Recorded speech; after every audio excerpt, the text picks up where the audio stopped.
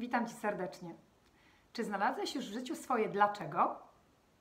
Ludzie często przychodzą do mnie i mówią: Wiesz, chciałabym zmienić pracę, chciałabym zamieszkać w innym domu, chciałabym się po prostu zakochać, albo chciałabym podróżować, ale nie wiem, jak mam to zrobić.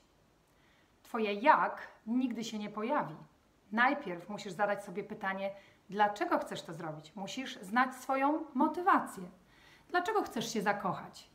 Dlaczego chcesz zmienić pracę? Dlaczego chcesz zacząć podróżować? Dlaczego chcesz zmienić swoje miejsce zamieszkania?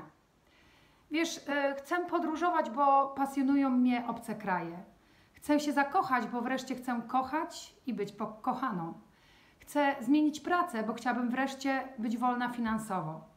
Chcę zmienić mieszkanie, bo marzyłam zawsze o tym, aby móc wyjść z filiżanką kawy na swój własny taras i patrzeć na pięknie kwitnące kwiaty latem.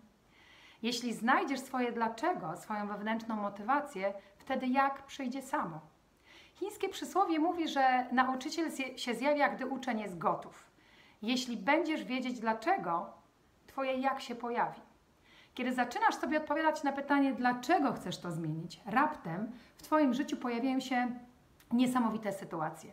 Spotykasz nowych, nieznanych ludzi, którzy pomagają Ci w tym dlaczego.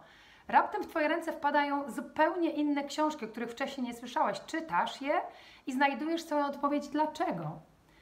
Raptem pojawiają się artykuły, znajdujesz strony, które wcześniej być może w ogóle Cię nie interesowały i one również dają Ci odpowiedź na pytanie dlaczego. Mówisz sobie, wow, to niesamowite, spotykają mnie w życiu same takie fajne sytuacje, zbiegi okoliczności, wszystko zdarza się teraz raptem przypadkiem.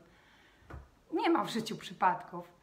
To, co Cię teraz spotyka, to tylko odpowiedź wszechświata na to, co Ty do niego wysłałeś. Chciałeś wiedzieć dlaczego, więc wszyscy dookoła, cały wszechświat postanowili Ci w tym pomóc.